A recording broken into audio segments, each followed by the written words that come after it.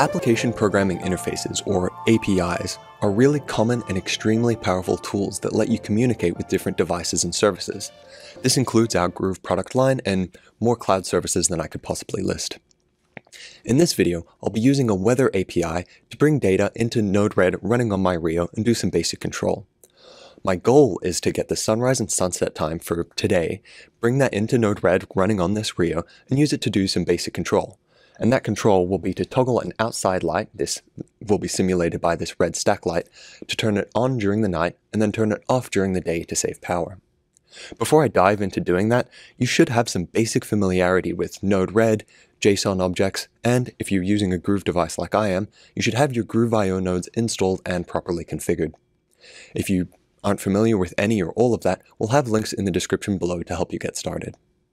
Now, before I go straight into creating the Node-RED flow, I'll need to understand where my data is coming from and what I need to do to actually get it. So we're not going to start with Node-RED, we're actually going to start with my API, which is openweathermap.org. When you go to this website, you'll first see some basic data for the current weather. You'll need to sign in to actually use the API.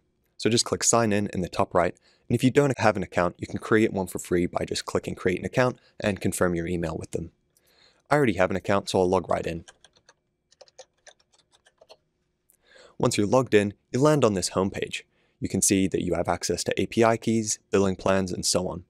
For today, we just want to focus on this API. There's a lot of options here, but today we just need the current sunset and sunrise time for today, so we'll just get the current weather data and view their API doc. Here you can see there's a lot of different options for how you can get your data, how it can be formatted, but today we just want basic JSON data for the current city that I'm in. So we'll be using this current weather data for one location by city name, and we have the API call URL right here. You'll note that it lists what parameters we can set, where only two of them are required, the city name and the app ID. To fill those in, I'm just going to copy this API call to my clipboard by just selecting this icon over on the right, and I'm going to open Notepad so that I can easily edit it and maybe even save it to work with later. Here we can see I have my two required fields, Q equals the city name and my app ID equals API key. So let's replace those, including the brackets. You want to make sure that you have Q equals just your city name. You don't want any uh, curly brackets on either side of that. I'm going to be using Temecula since that's where I'm at in the Opto headquarters in California. Here, I'll need to also get an API key. That's so that the API can identify which users are requesting what data, and that's not just to verify you have an account, it's to make sure that you're not hitting the API too often. You can find out more about that in the billing information page that you saw on the homepage earlier. So let's get that API key. You can see that under App ID, it does have a link right here uh, under the API key tab, and you can also reach it by clicking on the drop-down for your username right here in the top right and selecting My API Keys. I'll open that in a new tab, and we'll see here, I've already created a new API key called alternate and a, a, the original one, which was called default. You can create as many keys as you want, but keep in mind that your uses are spread across your entire account, not your individual keys. So be a little bit careful about where you hand these out if one does happen to get loose in the wild and lots of people end up using it, if it gets publicly published on the internet, you can click this X over on the top right and completely erase that key. Anyone that was using it will have to replace it with a valid key. I'm going to be deleting these keys after this video, so make sure you create your own. I'll start by double clicking this key and copying it to my clipboard, and we'll paste that into our notepad. I'll just again replace both the brackets and the API key in between and paste that string in. Here, I have exactly what I need to get my weather data. Let's start by just viewing that in the browser to make sure that it's actually working as expected. I'll copy this whole URL to my uh, clipboard and because it's just a HTTP address or HTTPS address, I can view it in my browser. I don't need any special software to see this. I'll paste it in and hit go, and you can see it's nicely formatted in JSON for me. The reason it's in JSON is because I have a pretty print extension in my browser. What you're more likely to see is just this source data, this raw data, because the server is just responding with a string. But because it's JSON and it's well formatted, it's really easy to just break it down, parse it out, and get the information we need. You can see that I have temperatures in Kelvin, that's the default format, and we have the wind speed, which is actually in kilometers per hour, but it's not windy today. Finally, at the bottom here, we have some sys information, and that includes our sunrise and sunset. This is what we're going to be focusing on today, and that's what we want to pull into Node-RED. So we know that my city is working, my API key is working. I can confirm the city with the latitude and longitude, and the weather conditions do match. So the API key and the city are all set, and we have our data. Now let's bring it into Node-RED. I'll come back to my flow and create a basic just flow to bring in the data so I can view it in the debug pane to make sure it's working here as well. I'll start with an inject node, and then to actually do the HTTP request and talk with the API, I'm going to be using an HTTP request node. To configure this, just double click it. The default method is set to get, and I am getting the weather data, but other APIs will use, for example, you can control your groov devices with put commands to actually write digital inputs and outputs, but the default of get is what we need here. I'll paste in my URL, which is just going to be a static string, although I could dynamically configure it if I wanted, and I don't need to worry about my payload or security because I am validating myself with this API key right here. Finally, I do want to make sure I parse that JSON object before it actually shows up in my debug pane. I don't want that raw string, I want a parsed JSON object. So I'm going to make sure I change that return object. I'll go ahead and click done, and now I want to actually view the data. Let's do that with a debug node. But I don't want to just see message.payload. I don't just want to see the response to the request. I want to see the entire message object. So just double click it, select the message drop down, and choose complete message object. You'll see why this is important in a second. I'll click done, and now we can wire everything together. I'll manually inject the timestamp on payload, do the HTTP request, and view the MIDebug pane. Let's go ahead and deploy, run this flow, and we'll see the weather data right here. If I drop that down, you can see I do have my payload here, which is now this object that you saw in my browser a moment ago, and I have some other information that got produced by the HTTP request node, including this status code with the status 200, meaning that the request was successful. You can see here under sys, I do have my sunrise and sunset, and because the debug node can recognize this sunrise time, I can click it, and it'll convert it into a nice readable timestamp for me. I can confirm that is when the sun came up today. Pretty nifty feature of the debug pane there. But one thing you will notice is that over here on the left, I'm injecting message.payload with my timestamp, and I will need to compare that current timestamp with my sunrise and sunset, but unfortunately it doesn't survive through the HTTP request node because the payload gets overwritten with this HTTP response. So we'll need to move the timestamp onto a different property so that it's not overwritten. That's pretty easy to do, we'll just move it into message.timestamp. I also don't use the topic since it just comes back as an empty string, so if I wanted I could delete that. Now I'll click Done, and deploy since I did make a change here, and inject one more time. Now you can see my timestamp does survive, and I do still have my payload object with my sys, and that has my sunrise and sunset time. One important thing to keep track of though when you're working with various APIs is not every system uses the same units or the same accuracy. For example, you'll see the sunrise and sunset from the Open Weather Map API have 10 digits. That's because they're providing the current timestamp in seconds. That's the level of accuracy they provide. However, up here, the timestamp that Node-RED is injecting is in milliseconds. There's 13 digits here. So this, this integer value, even though it still is a valid timestamp, you can see that it has the milliseconds over there on the right, whereas this timestamp here from the Open Weather Map API just has .000. Those last three digits aren't used. So instead of being able to actually compare the time, this value is always going to be bigger, and we're going to need to fix that before we can do a comparison. Thankfully, that's really easy with Node-RED. I'm just going to drop in a change node to change the message.timestamp. I can drag it right onto the wire here, you can see it goes dashed, and it will wire itself in. Now, what I want to be changing here is I want to set message.timestamp to be a new value. I'm modifying or changing the timestamp value. So I'm going to take the message.timestamp and I'm going to be setting it to a simple expression. What is that expression? Well, it's just going to be message.timestamp divided by 1000. I'll do this really quickly to show you what it looks like, and then we'll come back and make another quick change. I'll click Done, deploy the flow, and we can inject one more time. Now you can see I have this integer value or this floating point value, this uh, double value right here. And if I open my payload and my sys again, we can see that yes, I have 10 digits to the left of the decimal place and 10 digits in total here. The one kind of downside to just doing simple division is I do still have these decimal places, and now the Node-RED debug pane just thinks this is a number. If I click it, it doesn't actually recognize it as a timestamp. This is fine for our application, but I want to show you a cool trick really quickly. Because this expression uses what's called JSONATA, you can actually use simple functions like rounding.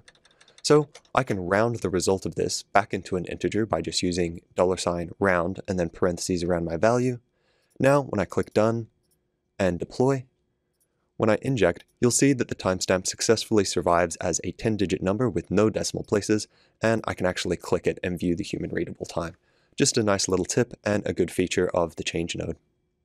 Now that I do have my current timestamp and my sunrise and sunset all using the same units of seconds, we can actually start to do our comparison and that'll lead into our control. Make sure you just do a quick little test in the debug pane before you actually deploy your code because you never know when you're going to get mixed match values or units, so it's an easy way to check. Now we need to actually determine whether or not it's daytime or nighttime, and that is going to be how we actually control this, this stack light that you see over here, this outside light. To do that decision, I am going to be using a switch node. This will just route the message in different directions, and that's exactly what I want. One for when it's daytime, and one for when it's nighttime. There's a lot of different comparisons I have here, but I need to make sure that I'm comparing the current timestamp to my two other message values here, the sunrise and sunset. There's lots of different options here, but the main one that I want to use is in between, because if it's in between sunrise and sunset, it must be daytime, and if it's not in between those two, then it must be nighttime. It's a pretty straightforward uh, way to check it. So I want to click in between, and then select this drop down to make sure I'm checking the message object property. So I'll select message dot, and I want to get the message.payload.sys.sunrise. To get that path really easily, I'll just use this third icon from the left to copy path. Copy that to my clipboard and paste it in here. Message.payload.sunrise sys.sunrise. Now we'll check the other message property. I'll paste in that same string since I just need to set it to sunset. So I have my sunrise and sunset, and if the timestamp property is in between those values, I'll get a message outside of output 1 for the daytime. For the nighttime, I'll add another property so that if it's not in those two values, in between those two values, or otherwise, I want to go outside of output 2, and I don't need to set any properties for those since it's just a catch-all for everything else. To make this easy to keep track of, just click the Appearance tab up in the top right here and name your outputs. Output 1 is for the daytime, and output 2 is for night. Now when I click Done, you can see that my switch node is got day or night. We can even give this a name to make it a little bit easier to keep track. Now I'm in, able to inject, get the current weather data for today at my current location, make sure the timestamp is correctly formatted, and check to see if it's daytime or nighttime. Now I'm ready to actually toggle the stack light. To do that, I'm going to be using the groov IO nodes since I am communicating from this groov Rio.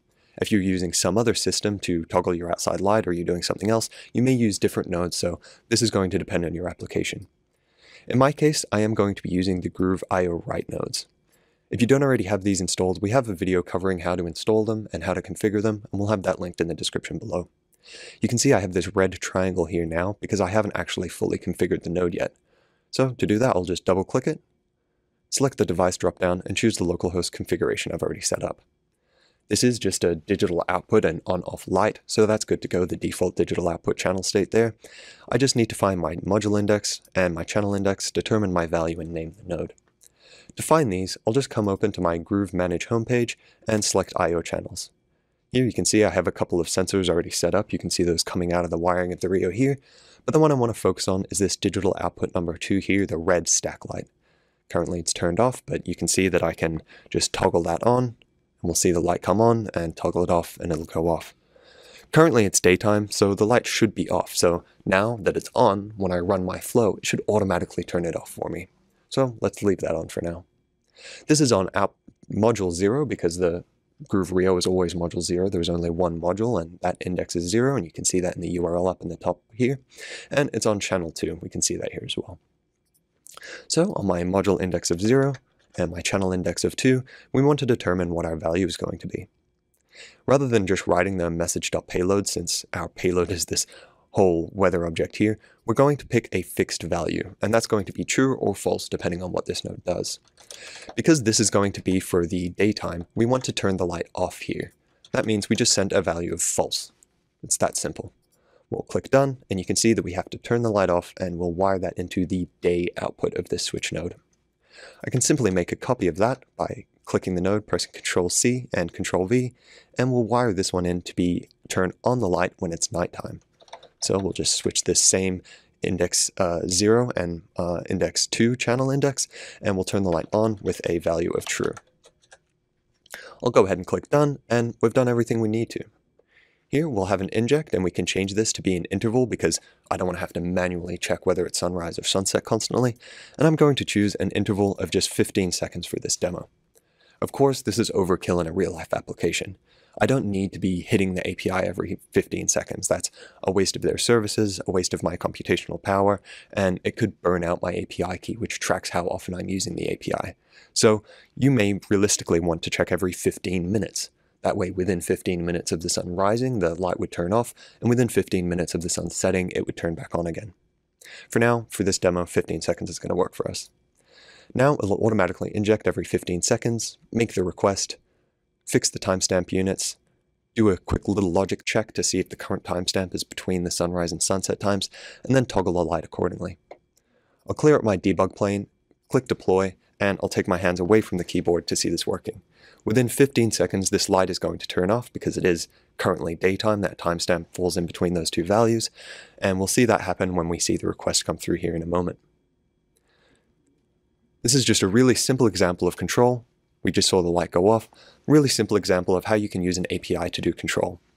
This is going to work consistently 24-7 and will always just turn the light off whenever it is currently in the day. This is a really great way to get data that you might not otherwise have. I can't tell whether it's daytime or nighttime just from sitting here with my Rio.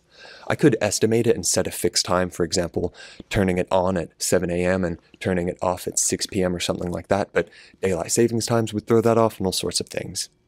Having this live data is extremely valuable, and you can get a lot more than just sunrise and sunset. You saw how much rich data was in this object, and this is just one weather API to give you an example of how to use the weather API, but also an example of the power of APIs. I hope you found this video helpful, and if you have any questions, please leave a comment in the below the video or come to our forums at forums.opto22.com. Thanks for watching.